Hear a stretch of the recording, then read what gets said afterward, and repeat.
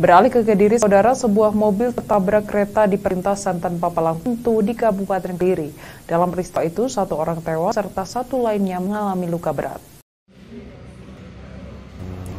Video CCTV ini merekam detik-detik kecelakaan di perlintasan tanpa palang pintu di Kecamatan Ngadiluih, Kabupaten Kediri.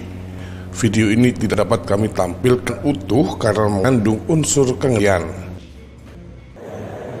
Dalam video tersebut terlihat sebuah mobil yang sedang melintas di perlintasan sebidang tertabrak kereta api.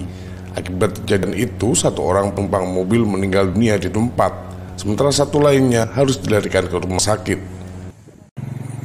Lokasi perlintasan kereta api tanpa palang pintu ini memang sering terjadi kecelakaan.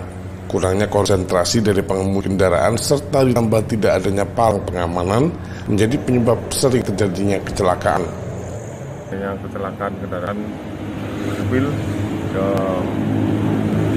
antara mobil dengan kereta api yang terjadi di desa Banjariko, Kecamatan Kadir.